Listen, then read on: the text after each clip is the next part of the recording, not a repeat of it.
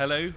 Hello and welcome to this press conference at the World Economic Forum on Africa in Kigali, Rwanda, where the government of Rwanda launches the Kigali Innovation City and signs strategic partnerships with MasterCard, Ericsson, and the government of Jersey.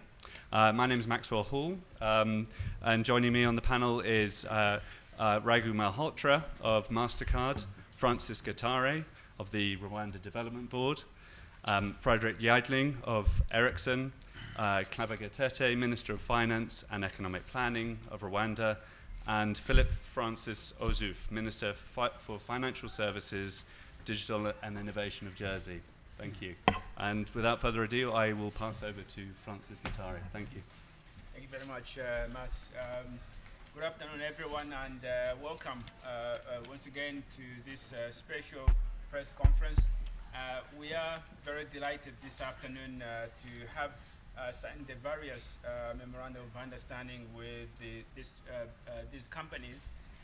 but most importantly, I want to say that Kigali City, uh, for Kigali City, it's a special day uh, in our endeavor uh, to implement uh, uh, an innovation city strategy that requires us, A, Uh, to have a platform for a cashless uh, economy in our city and for cashless uh, services for all the transactions that we conduct in our, in our city.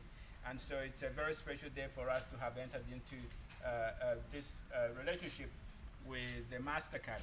And for the details, I would like to call upon Mr. Raghu Malhotra to elaborate more on the details of the partnership that we just signed for today. Thank you. Uh, thank you very much. Uh, so we're uh, very privileged to actually have signed this partnership with the Rwandan government. I know a lot of you think of MasterCard as uh, a credit card company or a payments firm. Uh, but over the last four or five years, we've transformed a fair bit uh, as a company ourselves. Uh, just we moved beyond just our consumer-centric business to advisory business and a services business. And our stakeholders have moved from financial institutions to merchants and governments. So this partnership uh, with the Rwandan government uh, is a testimony to how we are taking our business forward. Now, I just want to just talk a, a, a, second about this partnership. So, this government as a stakeholder and services as a business is all about creating infrastructure, enabling infrastructure at an economy level that drives the vision of various governments and actually makes it a reality. That's what this business is all about. And actually, our partnership is exactly about that. So, there are three pillars to the partnership as a, as a start, and I say that as a start. Uh, the first one is uh, financial inclusion, uh, which is aligned to creating the middle income segment as per the vision of the government. So the Rwandan government has a vision of creating a middle income segment, and our financial inclusion partnership is the first leg uh, of that. Uh, the second one is driving efficiency in the healthcare, education, and social disbursement side, right? So that's about taking transaction costs down, having a better consumer experience, and just based on the reforms that the government's doing to take that uh, forward. And the last, uh, and fairly important and not the least, is creating the digital infrastructure and enabling the digital infrastructure uh, infrastructure for um, uh, to implement the, uh, the 2020 vision of the Rwandan government on the digital side is what the third leg is all about. So enabling the digital infrastructure for the country is the third leg of that partnership. And obviously the cashless part comes as all, all three legs uh, on that.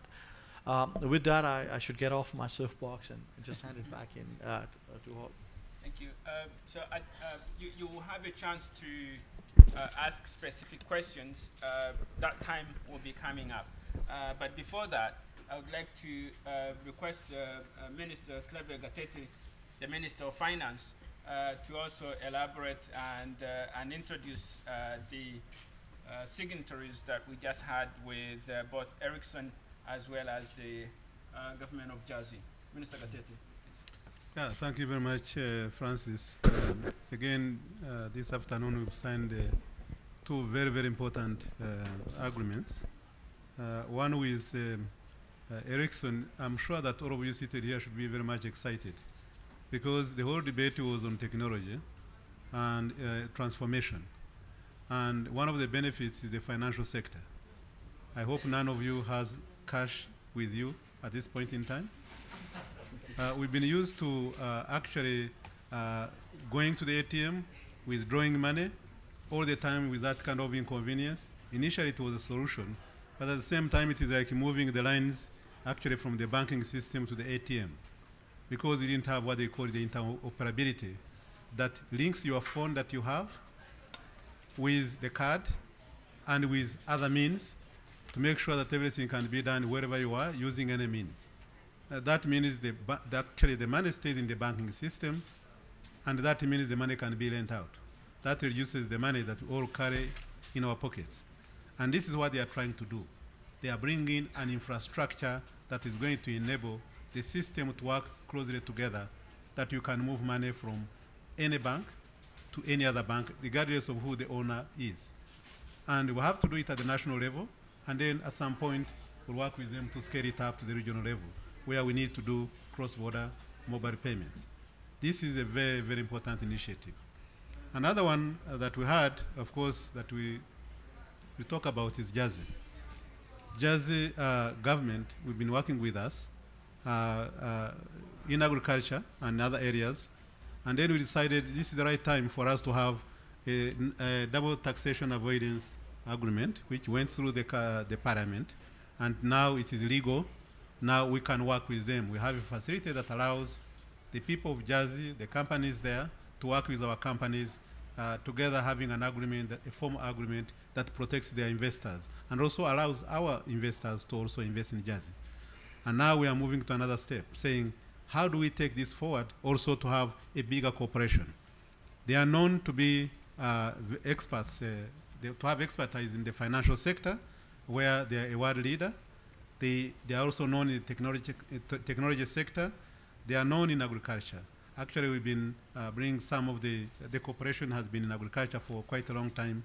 so not only in agriculture, but livestock uh, for quite some time now. But now we are expanding it to all the other areas, the ICT, uh, the financial sector, the private sector side, and other services that are going to help uh, the two, the, the, government of Jersey and our country uh, to make sure we have a very strong cooperation. So let me start with uh, Ericsson uh, to tell us uh, the good news. And by the way, you, are, you are allowed to share the good news. Don't keep it yourself. In as much as it's good for you, it's also good for others. Ericsson, please. Thank you so much, Minister. And um, again, we are also very proud to be here, and uh, we're very happy that we now signed this uh, agreement. And uh, I think Minister explained it extremely well what it is about. And uh, uh, basically, first of all, let me say we're very proud to partner with the Smart Rwanda initiative here since a little bit over a year back, where we work on various solutions for, for Smart Rwanda.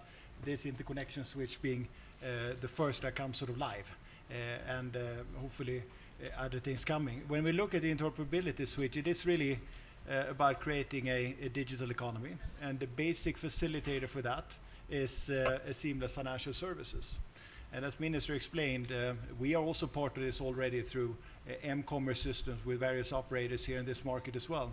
Uh, the challenge we saw is interconnecting all these worlds. Uh, and to facilitate the seamless system from the world of Visa, MasterCard, into the various mobile money system. And this is exactly what this platform does. Uh, so it's an interoperability switch uh, that can facilitate transactions uh, among the different sort of islands in the financial world, if I put it like that.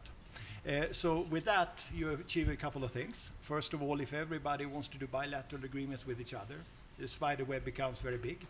Uh, interconnecting to one central platform, of course, uh, simplifies that and brings speed into the process. And obviously, by bringing big volumes of transactions into the system over time, of course, you can you can get a low transaction cost, which is one of the basic hurdles for, for including people in the system.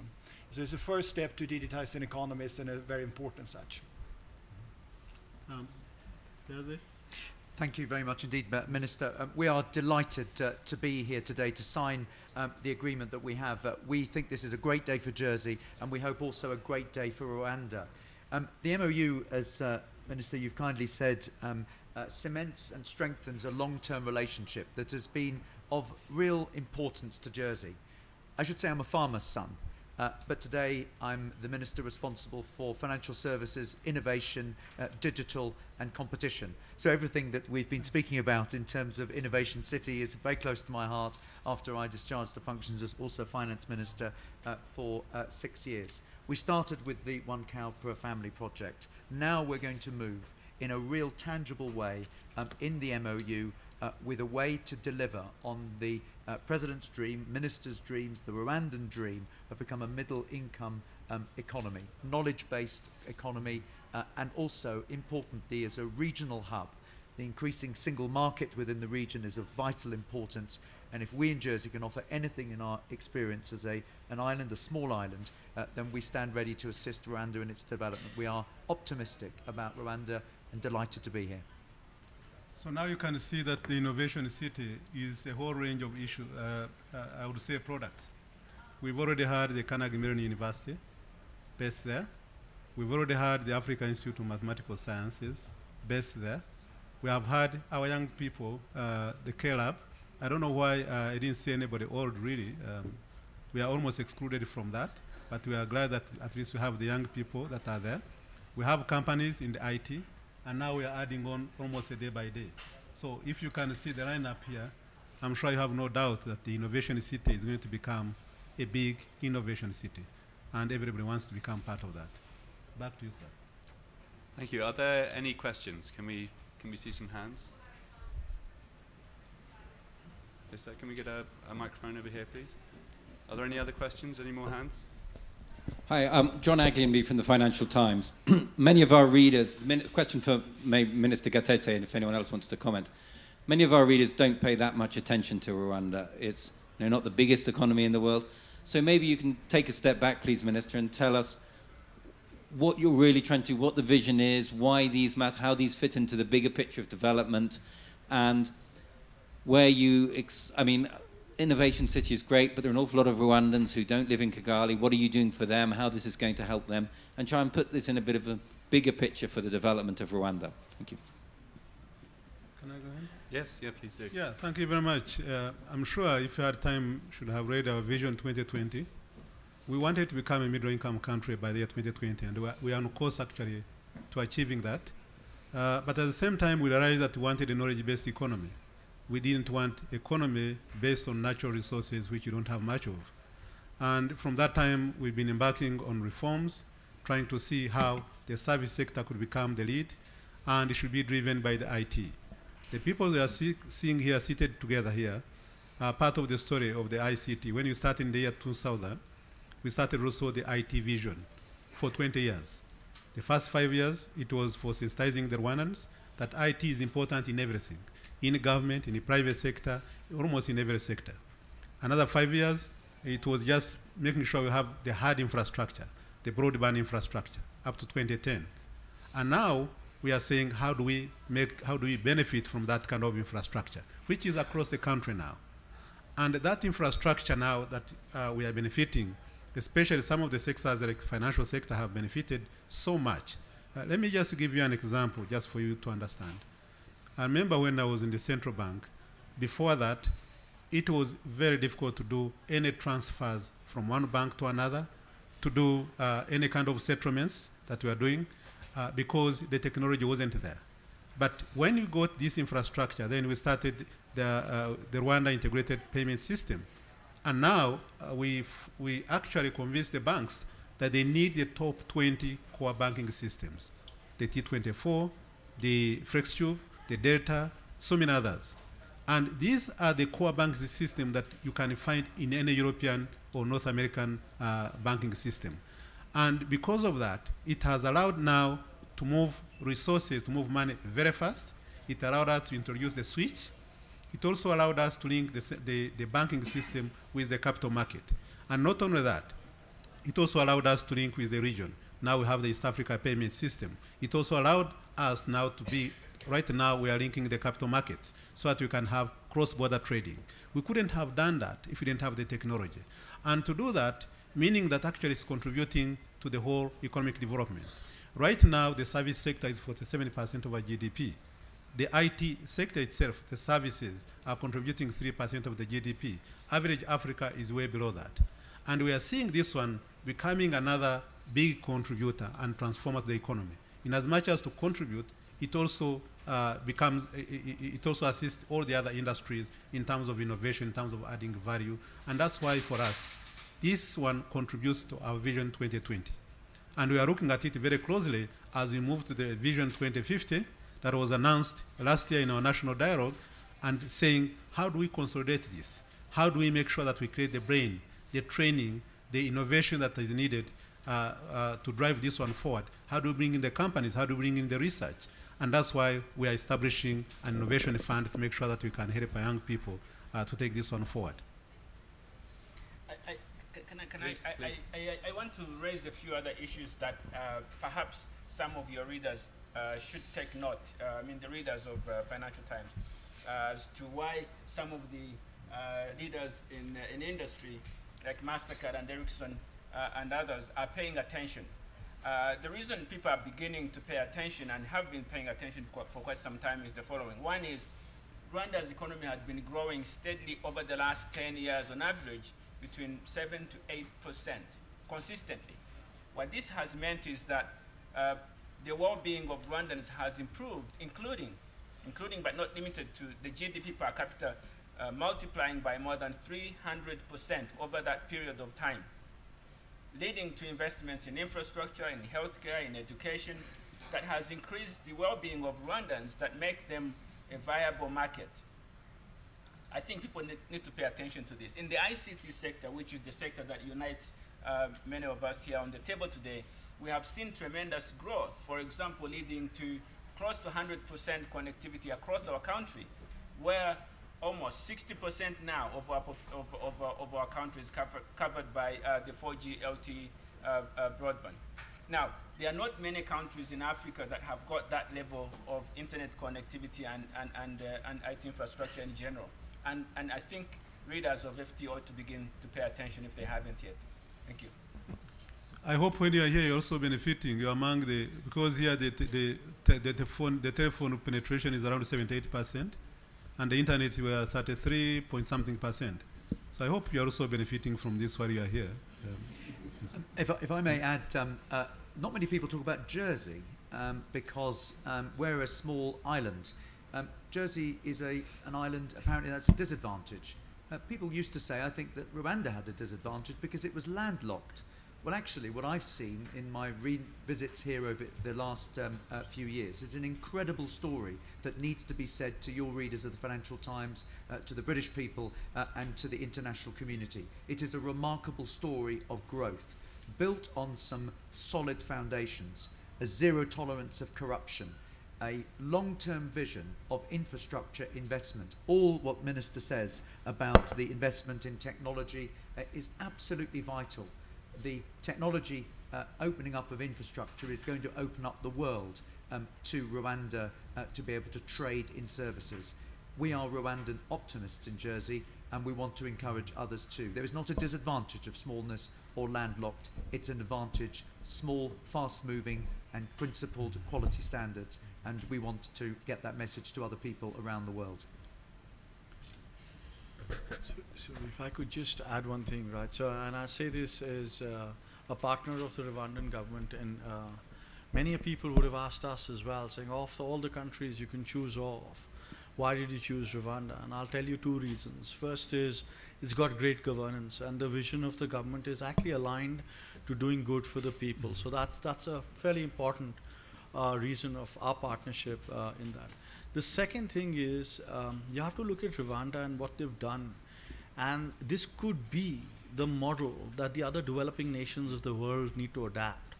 Right? So it's not just about what Rwanda would end up doing with the infrastructure and the partnership. Your readers might start to think of saying that's probably the way the rest of the developing world needs to create a framework for growth for the people.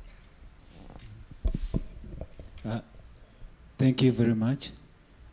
I'm called Dias Nyesega. I'm a journalist with Kigali Today. Uh, Honorable Minister, there is no doubt that uh, Rwanda has taken a step into um, uh, investing in uh, technology, uh, especially in the financial sector. But there is still a challenge of cost. Um, when you go to see on the transactions, especially on electronic transactions, the cost is actually um, is, a, is a challenge to, to, to a customer, to, to people who are transacting. And uh, on the other side also, I remember in 2012, you, you told us that uh, the cost is due to low transactions. We've seen an increase in transactions and still uh, the cost is high. Uh, last uh, beginning uh, this year in Feb, financial institutions added around 42 Rwandan francs on each transaction on ATM. Now, um, Honorable Minister, don't you think that this one is actually another challenge towards uh, achieving our cashless economy? Thank you.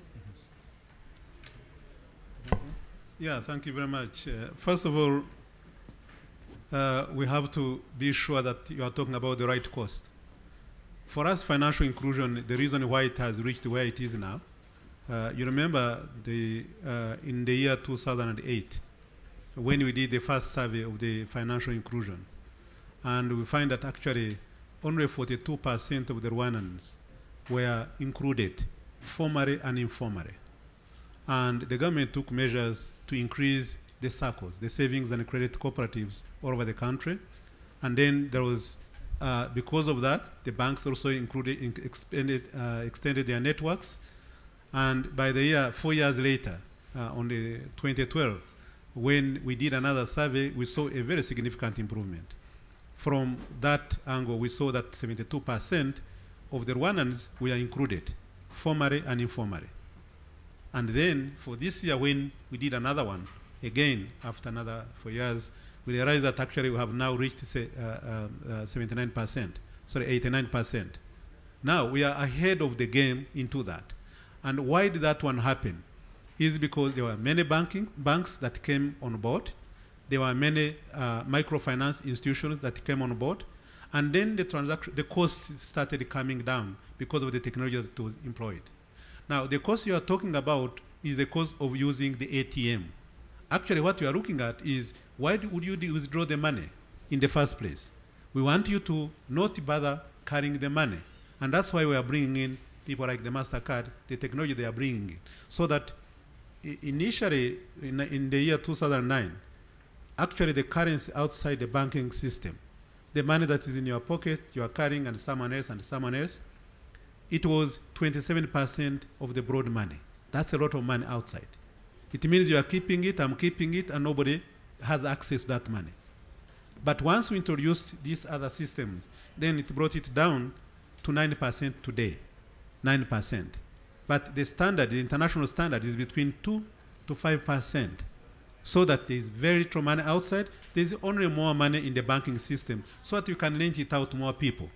But if it is outside the system, you cannot have a hand in it. And that's why we are bringing the interoperability. Initially, for the uh, ATMs, interoperability so that you can withdraw from any cash machine.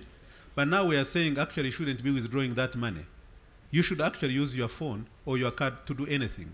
You want to do the shopping, you want to pay someone, you want to buy fertilizer as they are doing now, you want to buy anything, you can use your phone or you can use the card to do the payment because of the POS and other things, but you don't need to do that. But if you look at all the costs that make up the transaction, it has significantly come down. Actually, uh, two three years ago, in the central bank, when they started implementing it, the costs actually were coming down. I remember one of the costs, uh, I, I would say in the, the whole banking system of the connectivity, it came from over two, 2 million, it came down to 300,000. So it has all come down for all the banking system. If you look at the cost for each of the banks, it has come down significantly. You are talking about the small component of how much they charge you to go and withdraw in the cash machine. But we are trying to say that actually that one should, you should not be actually withdrawing because of the importance. But otherwise, the impact has had on the financial sector is quite incredible. Another question here? Uh, maybe he wants us to add uh, something yeah, that. uh, uh, Honorable Minister, uh, even point of sales, uh, for, for a merchant is charged money on every transaction a customer does. Now, this means most of them actually, even in here in town, they rather tell you the machine is dead or they are not working so that you can use cash. Now, first of all, tell me anywhere in the world where someone will give you free service. Because there is a POS, they have to charge a service. It has to be a reasonable service. Anywhere in the whole world, there's nowhere you get a free POS because someone is giving you a service. That's why for us, we are saying those service charges should be as low as possible. And we are also using it to also for the, the Rwandans, uh, ordinary people. You just compare the Irembo, the Rwanda Online that we have put in place, for example. If you have to travel a long distance, get transport, come to the district headquarters just to get a service. Look at the money that you paid, look at the time we've wasted, and then call that on a cost. And you have reduced that by saying you can do it in your home, you don't have to travel, but also cheaply. So the cost is relative to what else would you have done? Would you have gone to the bank, withdraw, take your transport, go there, withdraw the money where they charge you also, and then go and make the payment, or you'd prefer to use the POS, or you'd prefer to use even a phone. Someone has to give you a service, there has to be a charge, but what you are trying to do is to make sure that the charge is reasonable. But of course, you cannot dispute and say, I want to get everything free. No, it has to be a reasonable charge because they are providing you a service. Thank you. Are there any more questions? We have one down here. Any other questions? We can see any hands. Okay. Thank you very much. I'm called Banana Met. I work for the East African. My first question is to government officials. How much is this project costing you? To uh, the, the issue of mobile phones, Uh, we've sorry, seen that which- there are many projects. Which project? There, yeah. Who, who, who is your the question Smart to? Africa, Sorry? the Smart initiative with Ericsson, how much is it costing you? Mhm. Um, my second question is related to the cost of devices. We've seen that, uh, for instance, despite uh, the investment in 4G, the cost of uh, mobile phones has sort of slowed down the penetration. What are you going to do around uh, reducing the cost of mobile uh, devices? Um, the second question is to MasterCard. What is the side of the Bagain government? What have you agreed with government in the short term? What must they do within the memorandum of understanding? Thank you. Let, let me just say one thing and then my, my colleagues will come in. For MasterCard, they are coming as an investor. They are installing an infrastructure that is going to allow interoperability. Government is not paying anything. We've just uh, actually convince them to come as investors. And then from there, they'll be providing services. Mr. Ment- Ericsson. Ericsson. Sorry. You Ericsson, yeah. Uh, did I- which one did I say? You meant- you said- Don't I worry, they're not paying us either, so we are still, we're still okay. Uh, in diplomacy, that was they call a diplomatic incidents. Uh, uh, when you say that, especially for competitors, uh, that is very dangerous. So it's Ericsson that we are, yeah, they are coming here as an investor. So we are not buying them because we can't afford them, but they are coming here as an investor uh, to be able to provide the services. Then for the phone penetration, I don't know where you are reading from because the current phone, pr- uh, phone penetration, yes, I'm saying, yes, The, the handset. Smartphones. Yes, I don't have the latest data on the number of handsets, but I know that the- the phone penetration has been going up like this. I don't have the latest numbers. Maybe the people in IT can help us. Uh, so 78% is the phone penetration, but in terms of the, devices, is the one that uh, I, I think is. But the penetration is 78%. Yes, phone penetration.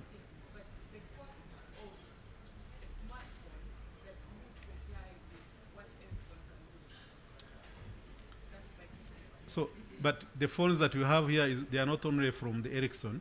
I think they are from all the other companies. Yeah. And it is demand and supply that we normally apply. So the number of phones and where we buy them, I, I don't know if it is consistent with uh, exactly the cost that you are talking about. But he's going to explain more. No, I can I, I can just mention. fir- First of all, we, we are not in the business of making phones anymore. So so we haven't done that for some time. But when it comes to smartphone pricing, if that's what you're talking about, that's uh, that is you're right that that is the biggest hurdle for for penetrating out. Of course, the price of the handsets, and uh, you can do different studies on that. But when we really look at it across Rwanda, the way you design your spectrums and all that, uh, it's very standardized, meaning that every component that goes in there is very globalized. Meaning that actually the, the, the cost for producing any handset now, that we have harmonized all the spectrum, including the LTE spectrum that we're working on now, is pretty competitive. And I get back to the point that I don't know what you pay for a smartphone here, but in my view, you can get a good smartphone for about 40 50 dollars at this stage with a decent screen, and they will probably come down further on that. Uh, the studies we've shown at that breaking point, around 40 50 dollars, you see quite a high pickup of smartphone penetration. But it differs from market to market. but there's one thing is for sure that the production cost and everything that goes in there, due to the uh, global standardization of the systems, is pretty optimized. A few short, short remarks from MasterCard. So, you know, I did spell out the partnership, so so I'll just kind of very quickly summarize what I talked about. So it's about financial inclusion. I think the minister talked about that. It's how do you create that that middle class that uh, we're looking for. It was digitization. We're talking about some healthcare, education, and social benefits. That's the the start of uh, the partnership. And again, it's about laying the infrastructure to do all these things, right? So it's it's not just one or the other. It's, it's a series of things that will come out. Just, Ju- a few, a few comments from, from the minister. If, I- if I can't comment on the Rwandan cost, but what I do know is that um, uh, th- that question could be asked of an honourable minister in any um, uh, country. I hear those questions about the costs of telecommunication costs uh, in my country, in Europe, elsewhere. What I do know um, that I think the solution is exactly how your ministers are tackling this issue. Uh, you get cost-effective services, uh, you get better services uh, by promoting competition underpinned by innovation uh, by new ideas, by disruptive technology, uh, by disruptive ideas. And that is what uh, the launch of this exciting initiative, I think, is going to uh, spur. So you're going to see those costs rise, lower barriers to entry, competition, innovation. That's what your ministers are doing, and that's why we back them. Thank you. I, that's all we have time for. Um, but if you, maybe you can allow more, Of- of course. one round, maybe. One more question? and Okay. then we're done. Thank you. My name is Eugene uh. I write for the New Times. Uh, my question goes to MasterCard and uh, Ericsson. Just wondering what could be your challenges to implement these programs. We hear things about how fast is our internet, how is our electricity. If you can te- tell us the challenges you are going to go through. Thank you. So I, I, we don't really necessarily see infrastructure as a real barrier to the challenges you've talked about. So because uh, as you will see the rollout happening, I don't want to kind of say too much. You'll realize that the sort of innovation we're going to bring to the market uh, is going to be different. I think the biggest challenge is you've got um, you've got many parties. There are many constituents in the value chain. All have uh, alignment towards a particular vision. The only challenge will be if one or the other doesn't do it in the same speed, and therefore you'll delay the execution. For us, that's the biggest challenge because if you can execute flawlessly in a, a time frame that we're all agreeing on, we feel this is absolutely doable. I, I think from my side, if I, if I look at the the environment that is created here, that is very conducive to growth through the policy and the Smart Rwanda initiative, I don't think that is a particular challenge. Actually, that is actually an opportunity that I think we're all talking about here. Uh, I think when it comes to such a service that we are talking about, which has to do with uh, utilizing a, a sort of cross-financial island network of financial services, I think the fact that people actually, the consumer actually starts knowing that it can use 78% actually of people can start using the service, let's say in Q1 2017, I think that education piece and getting it out on the market is probably one of the biggest challenges we're going to have uh, later on. Just one. Well, Yes. Uh, I, I, I want to comment on the challenge issue. Uh, look, in every initiative, project, or whatever strategy people implement, there are always going to be unexpected encounters that are very difficult at this stage to lay out. If we knew about them, they must already be catered for and therefore can't be that challenging. But that said, we anticipate to meet no major challenges given the foundation that has been laid in our country for the financial technology and the digitization of services in our country that is already happening, whether it's in the public service through IREMBO uh, platform or in the private sector that is happening uh, through the digitization of, uh, of transactions. And so we really believe that the time is right, the technology exists, the market is ready, and all that had been waiting was the uh, uh, opportunity to create the investment uh, to begin to get going. And with this on board, we just think that the rest is going to be implementation. Thank you. Thank you, everyone. Thank you. Thank you. Thank you. Thank you. Thank you, Thank you so much. Yeah.